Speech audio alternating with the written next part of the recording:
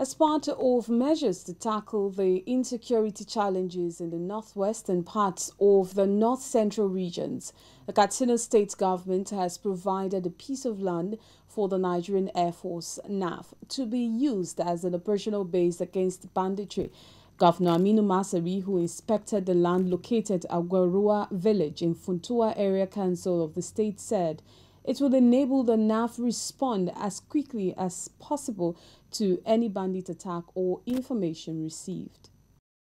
The Katsina State Governor Aminu Masari and other government functionaries, while inspecting about 32 hectares of land provided by the Nigerian Air Force, described the area as unique,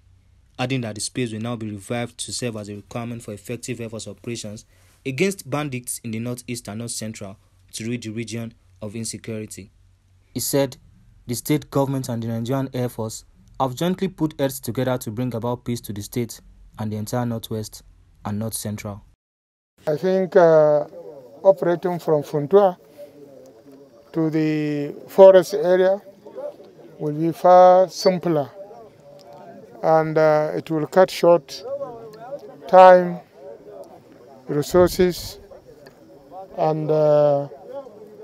other requirements in order to respond. Once there is a complaint or there is an information of movement of bandits around this area,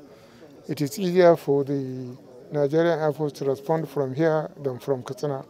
or from Kaduna. It was used as an airstrip uh, during the Second World War, and now we are using it to uh, launch operations against bandits in some parts of Northwest from here. This is a security matter the security uh, uh, agency, especially the Nigerian Air Force,